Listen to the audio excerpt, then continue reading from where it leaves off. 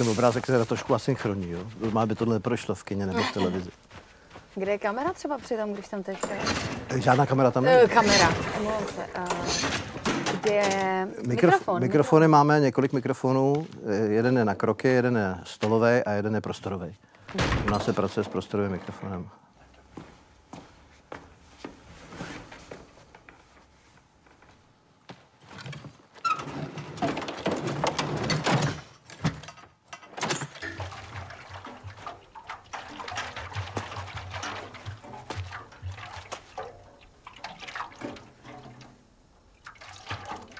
Tady trošku chybí zvuk toho sudu, to by tam měl být, mm-hmm. blechovej.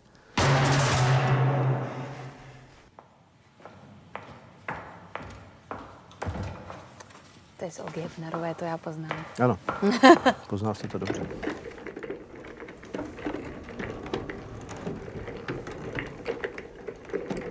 Takže globus plný alkoholu se taky dělá s alkoholem, jo? Eh, No, to jsou flašky s vodou.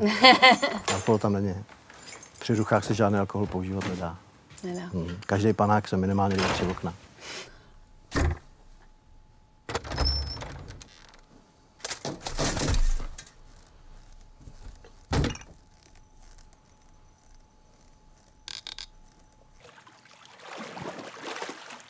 Je skvělý.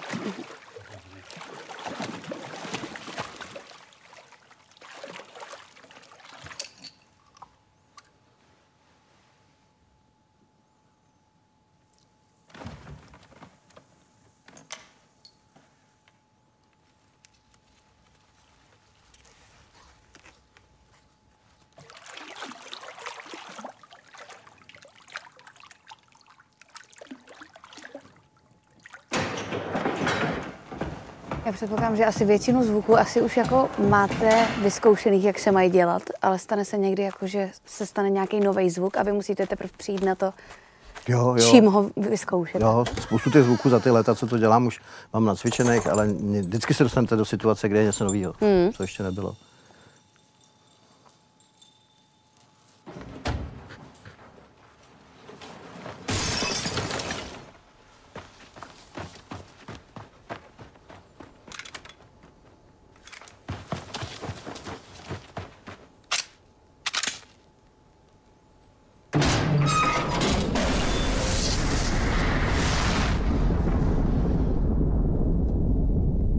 To takhle jenom těm třepáním to dělá Eh, oheň. Jo, jako. tohle je trošku přehnaný, ale děláme to tak. No. Mm-hmm. A k tomu ještě praskání teda různý, ale, ale v podstatě jo. Tak máme tady uh, další díl NFN Talks a možná jste si už uh, mohli povšimnout, že mým dnešním hostem je ruchař a spolumajitel studia Folly Stage Zdeněk Dušek. Dobrý den. Dobrý den. Jaký by byl podle vás film, kdyby neměl ruchy? Prázdnej, smutnej. Nebyl by zabydlený. Ty duchy dělají život, dělají prezenci, dělají lidi, protože to jsou kroky, hadry, ruce, dveře, okna, prostě všechno, co slyšíte v podstatě, co dělají lidi, jsou ruchy. A dokáže vytvořit nebo spolu vytvořit atmosféru. A nebo gag, a nebo napětí v detektivce. Uh-huh.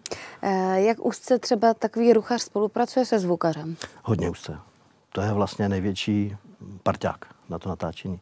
Protože když je zvukař, který to neumí a není připravený, tak my se můžeme v tom studiu přeskočit. A Může to být sebe lepší duchař a ten výsledek bude stát za prd. Uh-huh. A když je zvukař připravený, ví, co po nás chce, hlavně my potřebujeme, eh, aby ten zvukař eh, dokázal ty přijmout ty zvuky. Protože když tam přijde člověk, který to neumí, tak si vemte, že vás bude vracet, protože je to přemodulovaný, že to špatně neumí to natočit. A my se tam můžeme přeskočit, ani se ne, Takže, nepodaří. takže jste, dejme tomu, vlastně kooperujete a jste stejně důležitý. Ano, ano, ano. Mhm. Jak úzce pak ale spolupracujete třeba s režisérem? No, to je smutný příběh. Režiséři skoro přestali chodit až na výjimky, tak eh, režiséra v podstatě nevidíme. Takže to vůbec neprobíhá napřímo, ale nějak na dálku? Eh, Většinou je to tak, že je nabrýfovaný zvukař, který to postprodukuje. Mm-hmm. Jo. A nebo když si tam chodili režiséři, nebo chodili jejich asistenti, kteří nám říkali, co a jak, jaký jsou podlahy, nebo třeba mimoobrazní věci, kterými nedokážeme vyčíst z toho obrazu. A dneska teda režisér vůbec. To je výjimky. Pan Kadrnka, jo, Pojďme klidně zmínit. jo, tak Václav Kadrnka, no, ten, ten to má připravený tu zvukovou postprodukci takovou, že je mi někdy až těch zvukařů líto, který s ním dělají. jo, tak, a ten ví přesně, co chce, a je to vlastně jenom o ruchách ten film. Mm-hmm. A když vy přijdete na to natáčení, eh, co vlastně všechno musí být tam připraveno vlastně na tom palce pro vaši práci? No tak my máme studio, který je opravdu jenom na ruchy, takže my máme všechno tam už jakoby připravený. A pro mě je důležitý, aby ten zvukář, nebo teda režisér, někdy přijde ten režisér, mi řekl, hele, je tam tohle a tohle, máte to? Nějakou specifickou rekvizitu, kterou, která nemusí být, protože my tím, že jsme to postavili opravdu jako ruchář, tak tam máme pohádkovou stěnu. To znamená strámů, fošny, máme tam vrzací dveře, pohádkových vrata od chlívku, to tam všechno máme. Takže je specifický rekvizit. Nemůže tam mít všechno, Jasně. se tam nevejde. To studio není zase tak velký, není nafukovací. A takže když mi zavolá, řekne, hele, máte tam tohle? A já řeknu, nemáme, tak to přinese produkce. Mm-hmm. Jo, když jsme dělali třeba, můžu mluvit o konkrétních filmech? Můžete, určitě. Jo, tak jsme dělali Marii Terezi, tak tam byly takový ty velký roby. Nevím, jestli jste viděla aspoň jeden Ano, viděla. Takže oni nám přinesli ty obrovský roby, ty jsou těžký jako blázen, ale bez nich by to vlastně nešlo, protože ty mají tak specifický zvuk. Zvuk. Jo, ať to byly ty hulánský kostýmy těch vojáků, toho Maďara, takový, ten tam měl snad 100 knoflíků, takže to cinkalo. Je to těžký, takže tohle je, že zavolal, říkal, máte to, no to nemáme, takovýhle specifickou věc, takže nám to půjčili. Mhm. Eh, My už jsme se předtím v průběhu té ukázky bavili o tom, že samozřejmě na většinu zvuků jste připravený, ale že se můžou objevit nějaký, který teprve zjišťujete, jak udělat. Co vás třeba posledního překvapilo taky? No, my jsme dělali eh, loni v létě, jsme dělali horor, který se jmenoval Šílený Johan, český horor. A to teda musím říct, že mě opravdu překvapilo, že tam se žrali syrový játra. Mm-hmm. A Robertkem tam šmešlovali mozek. Jo, v hlavě, nějaká živému člověku. Jo. To bylo fakt teda opravdu nechutný a to teda jsem si říkal do pytle, to jsem v životě neviděl. Ani Mhm. to doufám, že to neuvidím. Takže to je opravdu takový, takový kdy to. A, A jak jste to teda dělali, jestli se můžu no, zeptat? můžu, můžete se zeptat, melounem. Uřízli jsme meloun a čvachtali jsme v tom Ježiš, to je meloun, strašný. No. Já teda jsme samozřejmě nejedli, ale museli jsme manipulovat a pak jsme to, to, to, to jídlo jsme museli kašírovat. Mm-hmm. Mhm. To se teda taky dělalo ten melon. A e, v rámci toho filmu, tak oni vám ho třeba jako nosí postupně, když ještě není dotočený, abyste tam ty ruchy dodělali, nebo až hotovej, nebo jak No, vlastně většinou musí být finální střih. Mm-hmm. Musí to být dokončený střih, aby už se do toho pokud možno nezasahovalo, potom co my to natočíme.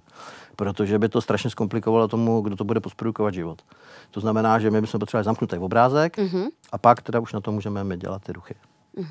Myslíte si, že je vaše práce dostatečně oceněná? Jako finančně eh, to musí říct jiný. Protože Finančně určitě ne, to Já není se- žádná práce samozřejmě. No ne, já, já si asi nestěžuju, ale eh, jako jestli se Dostáváte třeba nějaké ceny? Ne, ne, ne, žádný, nevím o tom, že a dělám to fakt strašně dlouho a žádnou cenu. Pro mě je největší cena, když zavolá klient, když to potom míchá a řekne, ty brďo, to fakt je dobrý. Jo, tak to je pro mě, nebo když to, někdo, když to někdo edituje, protože ty duchy se musí ještě editovat, to nejde tak, jak to my točíme.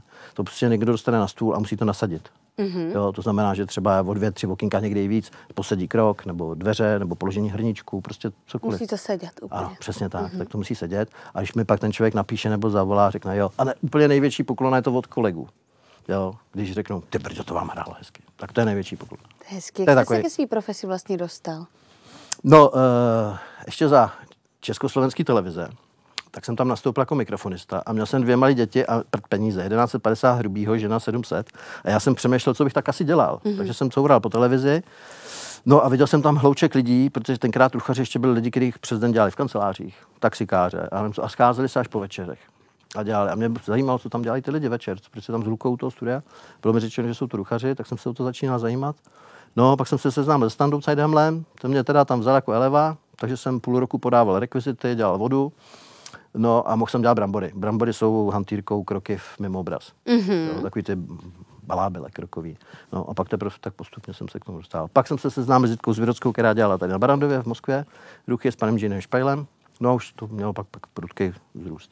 Mhm. Vy jste zmínil brambory, máme ještě nějaký konkrétní další specifický eh, Jo, slovíčka, který používáte šam, vy. Třeba šamcajk, to je, to je exteriérový takový, kde, kde je písek, hlína, le, listí, jo, takový exteriérový v podstatě takový koutek. Tak to je šamcajk. To je šamcajk, no. no, no. Dobře. E, můžete mi říct třeba, nebo nám všem samozřejmě, nějaký e, hraný filmy, teda, na kterých jste pracoval. Viděli jsme už v ukázce e, Olgu Hepnarovou, viděla jsem tam úsměvy smutných mužů. Ano. Co byste ještě zmínil? Tak teď v poslední době jsme dělali třeba sucho. Sucho. No, no. Takový jako, to bych řekl, že zatím to jsme dělali, tak bych řekl nejlepší film. Mhm. Jo. Uh, děláme hodně, hodně toho děláme, ale ono to, to, my to máme teďka té práce tolik, že se omlouvám, mě se to motá. Ale dělali jsme pro třeba pro vás jsme bavilo? dělali Ivetu v obě série, dělali jsme, teď děláme, zrovna dneska jsme dělali Zlatou labuť, Mhm. jo. Uh, a co mě bavilo? Mhm. Nejvíc mě baví asi animáče. To je prostě, my jsme dělali loni, jsme dělali animáč, ten se vlastně dělá ten zvuk od začátku. Tam žádný není, tam není žádný zvuk z placu, vlastně se ani nemá co vyčistit, takže ten zvukař tam něco nasadí, to znamená, že on si nasadí nějaké sefixy, to znamená takový ty velký, který my nejsme schopni udělat, a řekne nám, hele, tady já mám nasazený ten motor, ale potřeboval bych drčení toho plechu, nebo vypínače, Jasně. nebo jo, nějaký takovýhle konkrétně, nebo tam vle kus hadru a potřebuji, aby se to třepalo v tom zvuku. Tak to my děláme. A vlastně konkrétní kroky. Dělali jsme Metalmana. No ten byl jeden ten krok byl složený asi ze sedmi nebo z osmi zvuků pod sebou ve vrstvách. Já Jo, tady že mám, to- že jste právě dělal i taky třeba lajku, že jo, Filmfárum. No, no, no. Eh, Řekl byste, že je u animovaného filmu ten ruch důležitější ještě? No jo, určitě. Určitě. No ono teda jak u kterého žánru. Třeba když máte uh, drama, nějaký detektivku nebo horor mm-hmm. a teď se oběť se skrývá někde ve, ve skříni a teďka má setmělej barák a vy slyšíte vrzavý kroky nebo vrzání dveří, nebo rozbití okna. No tak to ve vás vyvolá fakt hodně stísňovou atmosféru. A to dělá vlastně ten druh? Jsou po pracovní stránce horory váš oblíbený žánr? Moc ne. Moc ne. Já jsem hrozně lekavej. Já pak nespím. I když, I když to jako vidíte jako z té, prafe, z té profesní stránky? No, abych řekl pravdu, tak co Že vlastně víte, co to je? Ono těch hororů se u nás moc netočí. To bylo po dlouhé době, co jsme dělali loni toho šíleného Jana a tam spíš mě zarážely některé výkony, které fakt jako vybočovaly, byly v, dob, v dobrém slova. Eh, Třeba um, Honza Dolanský tam byl skvělý. Mm-hmm. On tam hrál uh, Ďábla a hrál ho tak, že opravdu mě běhal mráz po zádech. Jo. Mm-hmm. On nehrál jako prvoprávně jako hajzla, on si to užíval to zlo. Točil si hulčičkou, prostě to poskakoval potom. A to bylo zase výzva pro mě jako pro duchaře, protože když si to zlo poskakuje a užívá si to, tak je to prostě nádhera pro duchaře. Vy jste dělal, už jste zmiňoval samozřejmě animáky, kde jste říkal, že vás to baví asi víc, protože je to od začátku celý. Mm-hmm. Bavili jsme se... to vymyslet hlavně, ty, všechny ty zvuky v součinnosti se zvukařem. Jo, ono by to správně mělo mít eh, zvukovou dramaturgii nějakou, ale na to u nás nejsou prachy, aby Jasně. tam byl člověk, který bude dělat tu zvukovou dramaturgii. Prostě nejsou. Takže to musí dělat ten zvukař, suplovat. Jo. A ten to musí vymyslet. Když jsme dělali ty srdce věže, tak prostě jsme se sešli s tím zvukařem rok předem. A už jsme dělali ty věci, dopředu jsme zkoušeli pro toho klienta, nebo to asi bude jak znít. to bude znít, jestli to je tak v pořádku a jestli to my budeme teda moc dělat, ještě to jako studio. Jo. Mhm. Mm-hmm. A po roce jsme se teda k tomu vrátili a dělali jsme to tři neděle. A na to fakt to byl jeden z nejtěžších filmů, co jsem kdy dělal. Bylo to fakt jako dobrá práce. Děláte to v kuse? Ne, ne, ne, ne. Oni to měli naanimovaný, část toho měli naanimovanou, pak se zase nebylo, se ještě něco dodělávalo, Mhm. takže jsme se k tomu vraceli snad po půl roce nebo po roce skoro. Jo. Mhm. Když jsme dělali čtyřlístek, to samý, jsme dělali čtyřlístek do kina a tam jsme neviděli, co je na podlahách. Řekli nám, že tam je lavina, padá ze stř- tam žádná nebyla, my jsme ji neviděli, takže jsme dělali lavinu bez laviny. Podlahu jsme dělali bez podlahy, tam nic nebylo. Mhm. Jo, takže někdy To, to, ještě fakt, nebylo dodělaný. bylo to obrazově dodělaný. Jo. Takže pro nás to bylo velký dobrodružství, že děláte něco, co nevidíte. Vy zároveň ale děláte taky i na dokumentech. Ano. Dělali jste třeba King's Skate, což je eh, super dokument o skateboardistech. Eh, Zajímá mě, jaký je tady rozdíl v tom mezi Tak, třeba eh, hraným filmem, dokumentem. Tady to není o fantazii. U těch dokumentů je to opravdu podtrhnout ten obrázek a tam se to dělalo hlavně proto, že tam bylo použitý spoustu archivních záběrů, které byly bez zvuku. Takže kdybyste tam měli ještě to kratoučká ukázka, tak se to dá pokrýt hudbou. Ale když je to dlouhá ukázka, nebo, tak je tam na té hudbě to ne, neuhrajete. Takže my jsme dělali všechny ty skatey, ty jízdy, vlastně kompletně jsme dělali ten zvuk znova. Mhm. A není to jako už velký zásah do toho nějakého Není, myslím si, že, myslím si, že není vlastně, protože eh, kdyby to pustili tak, jak, my jsme, jak jsme to viděli my, když to přišlo k nám, tak tam nebylo nic. Jasně. To nejde slyšet, skate Nebylo na tam, zemi. no, přesně, no, tam nebylo nic, protože to točil někdo nějakou osmičku kameru, která neměla ani mikrofon. Jo. Mm-hmm. No a pak jsou ještě jiný specifika a to teda eh, jsme dělali nedávno film uh, z Ukrajiny, dokument. Ano. A to teda, musím říct, to točil, tam nebyl kameraman vůbec, protože to bylo v první linii. A byl to taky dokument. A to bylo GoPročkem na, na helmě, to točil ten záchranář. A to teda, tam nebylo vlastně žádný zvuk, to jsme vlastně stavili my a musím říct, že to byl takový masakr, jo, že ta kolegyně, co to se mnou dělala, ta normálně utekla s brekem ze studia. A zajímavý je, tak silný jo, jo, a zajímavý je, a to bych teda fakt chtěl potrhnout, jak jsme eh, jako strašně navyklí na to násilí z televize, Mhm. tak vlastně ani nebylo tak hrozný vidět lidi bez nohou, s vyvrhnutýma vnitřnostma bez očí. Když to ale zvířata. No, to je Krávy, psy, jo, vo- to prostě bylo něco tak strašného, jak trpí ty, ty zvířata. Je to hrozný, že lidi nás nezajímají, nebo nezajímají v uvozovkách, že už nás nás to nepřivádí do šílenství, ale ty zvířata, jo. Já se přiznám, že já jsem taky brečel. Jak se třeba dělá zvuk trpícího zvířete? No tak oni byli ty krávy pokrk v báně. Tam Mhm. bylo asi 100 kráv, z toho 50. bylo mrtvých a 50. bylo prostě, kdy už dodělávali. A jenom tak jako natahovali hlavu. A ty vojáci se snažili to poupaskama vytávat z toho bahna, to vidíte, že to nedotáhne. A tam nebylo nic, žádný zvuk, to bylo točený Jasně. prostě na, na GoPročko a točil to jeden z těch záchranářů. Mm-hmm. A to bylo strašný. Strašný. A tam vlastně nebyl žádný, takže my jsme dělali ty kroky, kdy bylo vidět, jak běželi, táhli toho raněného na takové podložce a byly vidět kroky toho chlapa, který běžel před ním. A kdyby my jsme neudělali ty duchy, jak tam nebylo nic. Jo, a tam chodil pan režisér, já nevím, můžu jmenovat pan režisér Manský, který teda, on, on nebyl režisér toho projektu, to dělal nějaký Ukrajinec, ale Manský dělal to Putinovi svědci Putinovi, režiroval. Mm-hmm. No a ten tam dělal... Tenhle dokument se jmenoval? My jsme to dělali jako kód Palianice, ale v kinech to mělo nedávno premiéru pod jiným názvem. Jo, to si nepamatuju, ale my jsme to měli jako výroba, výrobní název byl kód Palianice. Mm-hmm. No. A tenhle pan režisér tam celou dobu byl s náma protože on měl jasnou představu, jak chce, aby ty kroky, že tam bude bokro, že tady bude slyšet tohle, jo, že tam mimo obraz dávají třeba uh, masáž srdce. Jo, což samozřejmě, když to nevidíte, tak to nevíte, že to tam je. Jasně. Takže on nás vlastně vedl. A to je jenom, že na začátku jste se ptala spolupráce s režisérem, tak v tomto tak případě. tady proběhla. Ano. A vlastně i tím spíš to bylo silnější, že on je Rus, že není Ukrajinec. Vy jste si před pár lety otevřel uh, společně, samozřejmě s kolegou, ano. vlastní ruchařské studio, pokud se nepletu, Folly Stage. Ano. Uh, jaký byl důvod? Měli jste pocit, že to sami uděláte nejlíp? No, ono to snad ani ne, že bychom to dělali nejlíp, ale ono, když to děláte pod někým, tak musíte toho člověka poslouchat. A když vám někdo řekne, že vám posadí zvukaře do studia, a vy víte, že to nefunguje, už to máte ověřený lety předtím, že to nefunguje, protože ten člověk vidí, že, jak říká jeden kolega, když děláte klíči jabkama, a já vám ty, mě jedno, že to děláte klíče jabkama, ale musím vám věřit ty, ty klíče. Mm-hmm. Jo. A když na to vidím, že to dělám něčím jiným. klíče jabkama? No ne, já, já, to schválně přeháním, protože někdy se to dělá úplně na něco jiného, na jinou rekvizitu, protože ta rekvizita, která je v tom filmu, prostě nehraje. Mm-hmm. Takže se to přehání. Většinou se to dělá pistole, když je takováhle, tak my musíme ho dělat koudle, protože je malá. Jo, když, jsme dělali, když jsme dělali uh, ve stínu koně, tak prostě tam byly takové malé pistolky jo, v tom filmu a my jsme to dělali na takovéhle bambitky, jo, protože to znělo ve zvuku malinkatý. Jo.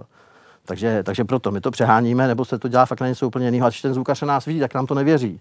Prostě tak to vidí. Když to slyší jenom, no, tak už ta fantazie pracuje a buď to tomu věří nebo nevěří. Jasně. Jo. O tom to je. Takže tam nemá s náma vůbec být. Nehledě na to, že dělá ruchy. Sám o sobě. Vrtí se, No, no. Takže vám to tam kazí vlastně. Ano, ano, ano, ano. Takže to nedělá dobrotu. Takže vám vlastně, když vám tohle někdo říká, že tam bude s váma ten člověk, že se to bude dělat takhle, nebo vám tam posílá studenty, že mají točit ty ruchy studenti. A vy víte, že denodenně ty lidi budete nějakým způsobem učit a že denodenně se s nimi budete řešit, že takhle se to nedělá, že venku nemůže v, v exteriéru nemůže točit na prostorový mikrofon, že prostě to není, nikdy to nemůže být dobrý, že to má přehnaný, Jo, že prostě není to dobrý. Takže jsme chtěli být sami za sebe. No. A co kdyby chtěl teda nějaký student jít k vám se zaučit, stejně jako jste to tehdy vyměl v té české televizi? No, k nám chodí, to? teda takhle, k nám chodí uh, famáci, chodí si dělat ruchy, na, pro ně máme jako kategorii, že nemáme plnou sazbu, takže k nám chodí do studenti famu, jako si točit svoje vlastní filmy. A když by to chtěl někdo se, jako ruchaře, ano. tak uh, my teda teďka máme plno, protože teď jsme přibrali dvě děvčata, ale doporučuji podívat se na internet. Opravdu si o tom něco naštudovat, aby člověk věděl, do čeho leze, protože ne všichni mají jasnou představu, co to obnáší. A uh, podívat se na nějaké ty filmečky a pak si buď to zavolat k nám, nebo do jiných, měli jsme jediný ruchový studio a přijít se podívat. Mm-hmm. To možný samozřejmě. Uh, vy už jste to trošku zmínil před chvilkou, že pronajímáte studio teda třeba famákům, takže nefunguje no to ne, tak... že pronajímáme, ono to nefunguje jako pronájem. Mm-hmm. My to jsme tam, se chtěla zeptat. No ne, to nejde, vlastně to není možný, protože tam je spoustu rekvizit a já je mám nějak kategorizovaný. Takže já, když tam jsem, tak vím, že tady mám tohle, tady mám dřevo, tady mám to, tady potřebuji vrzačku. Jasně. A když tam někoho pustím cizího, tak, tak tam je chaos. on nebude vědět, kde to má hledat, to by si musel svoje rekvizity přinést. Jo? Takže to nejde, tak to nefunguje. Jednou jsme to udělali a oni z toho byli nešťastní a my taky, protože pak jsem nevěděl, kde co mám. Jo? A oni zase nevěděli, kde co mají hledat. Takže Jasně, to... takže to funguje pouze jako vaše studium, ano. studio s tím, že občas dovolíte studentům FAMu si tam něco jako... No dovolí, dovolíme, oni tam jsou jako jiní klienti, akorát, že uh, oni nemají na dva duchaře, a je tam teda náš zvukař, tam je tam kolega, který Jasně. to natočí, který jim ukazuje, jak se ty duchy mají dělat, protože to nemůže fakt dělat každý. Jako, že každý, kdo drží jednu šavli nebo ji v životě držel, není ještě vhodný na točení ruchu, fakt ne. Mm-hmm. To se musí, musí umět, jednak je to komunikace, no už jsem to, jo, je to fakt, to není tak tak jednoduchý. Takže ten člověk, ten zvukář, kolega jim to ukáže, jak se to má dělat. Oni si říkají, jak to chtějí, nebo co, co od toho chtějí a můžou se je podívat do studia a my jim to uděláme. Mm-hmm. To není o tom, že by tam byl nebo... Rozumím. No. A co všechno, tak řekněte, co všechno správný ruchař musí umět? No, ono to zase není takový, taková věda, je to spíš leta toho nasávání, že já jsem se to učil na kavkách něco, takže tam jsem se něco naučil, pak jsem přišel sem na Barandov, Jitka z mě zase ukázala něco jiného protože třeba uh, Tady se dělalo ve čtyřech lidech, na kavkách se dělalo ve třech. Dneska už se dělá jenom ve dvou, protože to nikdo nezaplatí. jo. Jsou studia, kde to dělá jeden člověk. Jo. Ale uh, tehdy já byl specialista na stůl. To znamená, že nedělal nic jiného než stolovky. Takže ten člověk dělal fakt jenom pokládačky, manipulaci s příborama, hrníčky, jo, všechno. A ostatní byli specialisti na ten zbytek, to znamená kroky, dveře a takovéhle věci. Dneska to už není, teda aspoň u nás v televizi tak furt ještě má, mm-hmm. jo, že je tam specialista na stůl. A když teda jste se ptala, abych se vrátil k otázce, co musíme, trošku rytmus. Ten je hodně důležitý, protože vlastně kroky jsou jenom rytmus. Jo. E, nějaký cit a fantazie. Mm-hmm. Fakt si představit, tam fantazie tam hraje docela velkou roli. No. Protože ne vždycky to, co slyšíte, to je, Je- ten předmět. Mhm. A co všechno třeba máte za nevím, speciální věci ve studiu? Jako oproti ostatním studiím? Nebo Já jako, myslím, že eh, pro nás všechny bude všechno jako překvapující, ale klidně i oproti, oproti dalším studiím. No hlavně jsou to teda ty podlahy a ty dveře. Že máme ještě jako pohádkovou stěnu s pohádkovými dveřma. To, je, to myslím, že v žádném jiném studiu V čem zní jinak pohádkový dveře než Že jsou normální? celý ve dřevě, tam jsou dvacítky trámy Aha. a celý to je vlastně dřevěná stěna. Udělána ve studiu a tam jsou velké dveře a malinkatý odchlívka, je tam vrzačka na tom pověšená a celý to vlastně je jako rezonanční stěna. Takže když vržu, tak vrže celá, zní celá ta stěna. Takže to vlastně zvětšuje to vrzání. Mhm. Mm-hmm. No, máme tam bazének na kroky, to myslím, že nikdo moc nemá.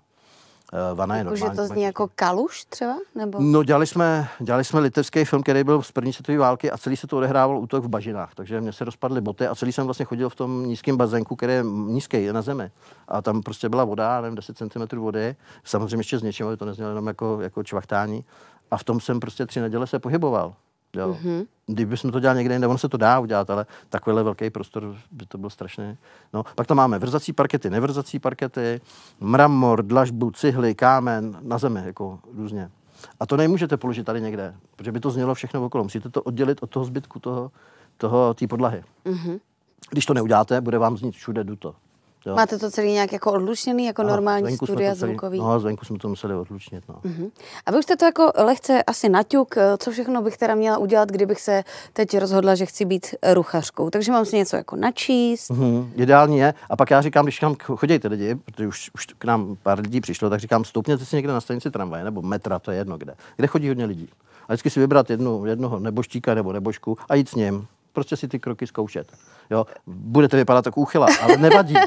Nikomu neubližujete. Tak se to nejlíp dá naučit. Mhm, zajímavý. Eh, jaký máte, jestli můžete prozradit nějaký plány, co teďka chystáte, co teďka připravujete za snímky nebo cokoliv? Teďka zrovna děláme, děláme hodně pro, pro zahraniční takovou nadnárodní velkou společnost filmovou nebo streamovou, mm-hmm. streamovací, takže děláme pro nějaký seriály i, i takové jako filmy. No, Jaký je rozdíl v té spolupráci s těma... zahraničníma. Mm-hmm. Vlastně skoro akorát, že to všechno posílají, že se nevidí. Mm, Takhle třeba přijde. Jakože nemáte vůbec kontakt? No ne, jenom to všechno přes internet nebo přes telefon. Mm-hmm. No. A uh, přece jenom teďka, když je to tady od nás, tak ten člověk za náma přijede. Jo, třeba teďka děláme tu zlatou labuť, tak ten Dan, ten zvukař, který to dělá pro, pro novou, tak za náma přijede, řekne nám, co potřebuje. Takže je to takový jako bližší. No. Jasně.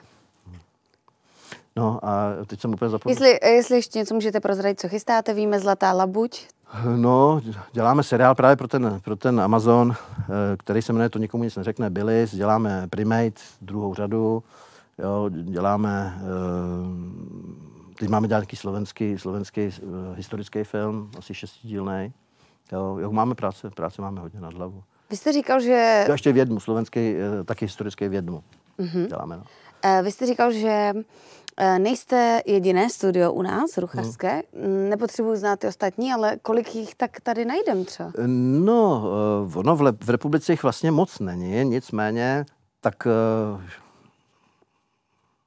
4-5 studií. Hmm, to není Jo. moc. Takže práce hodně. Eh, V podstatě jo, ono je to ve vrstvách, ve vlnách teda jo, to je taková sinusovka. Teď zrovna padáme tak, že bychom ještě klidně, mm, je na, jsme tam čtyři jako duchaři a ještě bychom dva uživili, teďka momentálně, ale to může být na podzim úplně jinak. Mm-hmm. Jo. Je to fakt, už to dělám strašně dlouho a jsem to zažili pod velkým produkčním studiem, který měl fakt práce hodně, že třeba půl roku mm, bychom tam mohli bydlet a pak tři měsíce jsme dělali jenom sem tam reklamu.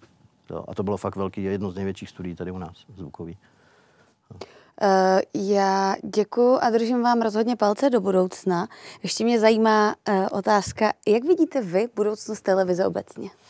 No, já si myslím, že eh, samozřejmě teď se to všechno směřuje na stream, jako na ty, ty ale myslím si, že televize jako, jako médium v nějaký omezený míře bude navždycky. Takovou státní, myslím, nějaká, eh, řekněme, informační, ať to je teda regionální nebo, nebo celonárodní televize, nějaká bude, podle mě. Mm-hmm. Tak moc děkuji, to byl Zdeněk Dušek Ruchař. Rádo se stalo.